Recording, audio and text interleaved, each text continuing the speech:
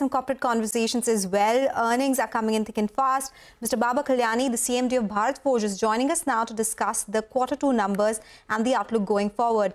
Mr. Kalyani, good afternoon. Thank you so much for joining in today and thank you for being patient as well. Apologies for coming to you late. There has been a lot that's happening, but thank you for joining CNBC TV 18. Uh, always, it's 25 years of the channel running now, and your insights have always been very, very helpful for the viewers and us as well. Uh, you know, quarter two earnings this time around, the standalone business where the revenues came in flat this time, Mr. Kalyani, the consolidated business saw a decline of 2.3%.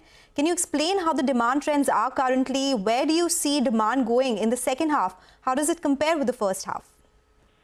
I think fundamentally the Q2 performance uh, was pretty resilient concerning if you look at the underlying demand situation which is there uh, we had a flat uh, top line, uh, but our margins expanded, so we had a better product mix.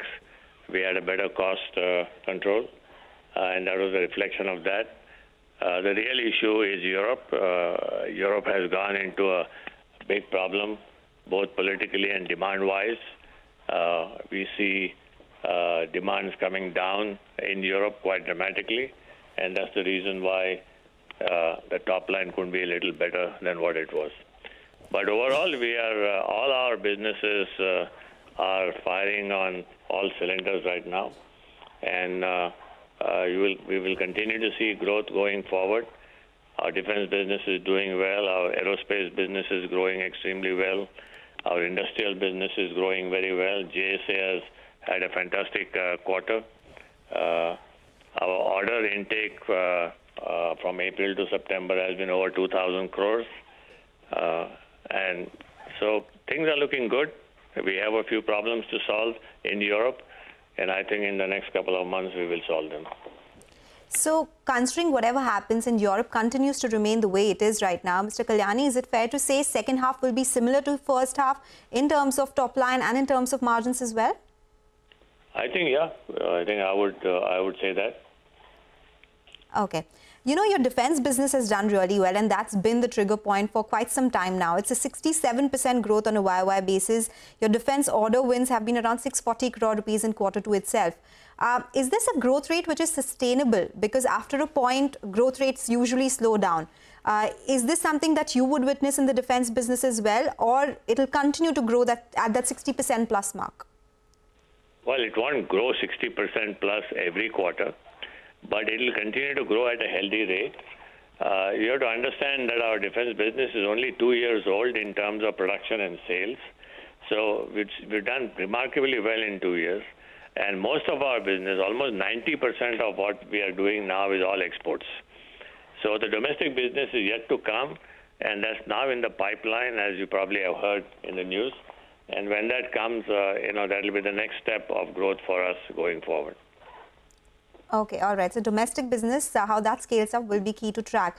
Uh, Mr. Kalyani, in the month of October, the North American uh, truck orders, they were down 6% on a month-to-month -month basis, but up 2% on a YOY basis. Uh, how is demand there? Because the uh, conversation with analysts suggested that some fleets are being cautious as they order new trucks for 2025. Uh, can you give us a sense of what's the on-ground situation? Right now, the demand is good. Everybody's production, daily production numbers are still the same as the last quarter. I think a large, uh, to a large extent, it will now depend on the new policies the new government brings in in the next two months, and we will know more about it probably once uh, uh, the Trump administration has uh, all its cabinet put in place and some policy announcement come.